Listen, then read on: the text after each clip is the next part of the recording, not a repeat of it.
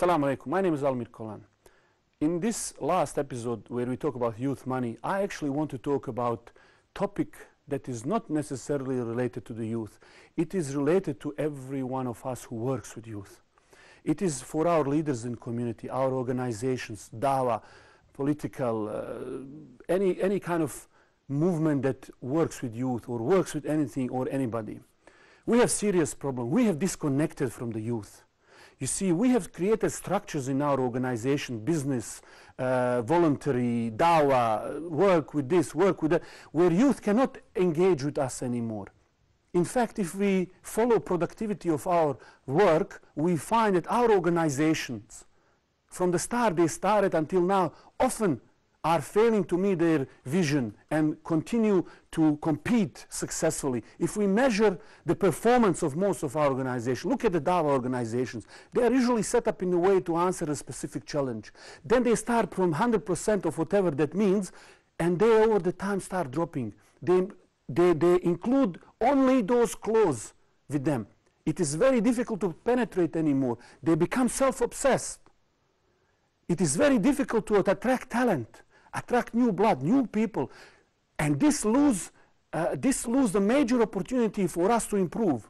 If you measure the DAWA, for example, output, as we measure GDP in economy, how many hours of work, how many uh, lectures, tapes, uh, things, how much we are producing, with what sort of resources, with sort of money, who is producing, how much. If we measure these things and if we track this performance, we will realize that by the time we established our organization, few years after, we are dropping.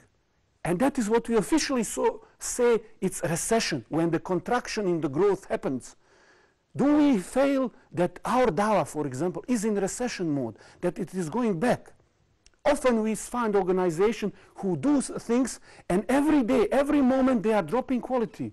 And in fact, those people who want to introduce something or do something usually have to either separate or they come from outside, they can't get in.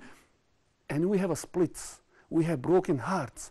Now these organizations are becoming more like a takeaway shops where loyalty, uh, membership, all of these things from majority of the people is such low at low level where they go to these shops or organizations just to take what they need and they get out. And they swim between all of these organizations like supermarkets and just getting a little bit and they're getting out.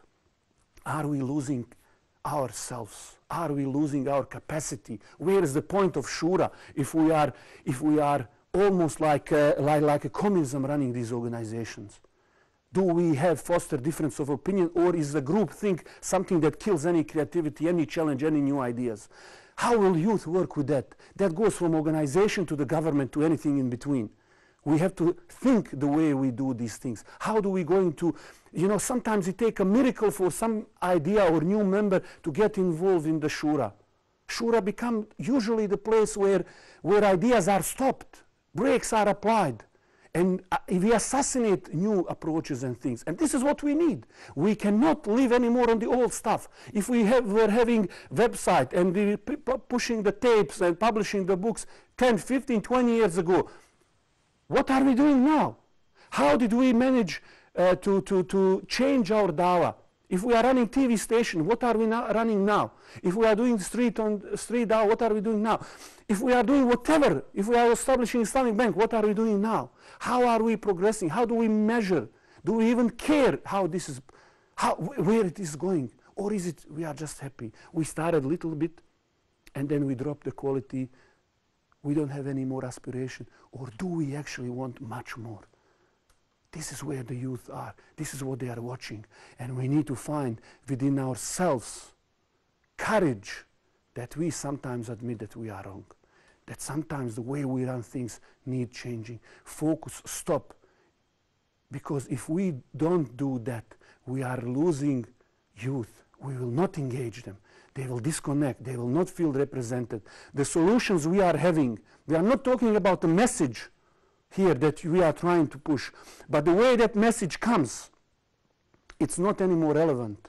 Uh, we are not relevant. I mean, the phone I'm using today had the same basic function like the phone I was using 10 years ago. But the features, the everything, Nokia is now in the past, doesn't exist anymore. It's all about iPhone and now Samsung.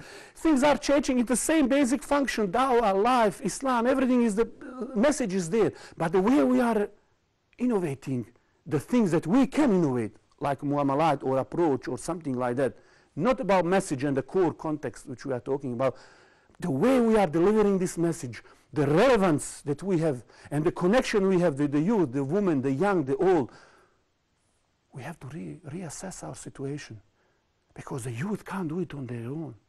They can't just themselves fight against all of these odds. We have to have enough guts to say to ourselves that we were wrong and that we will take commitment to do whatever it takes to fix these mistakes, to involve these people and lead really and live strong.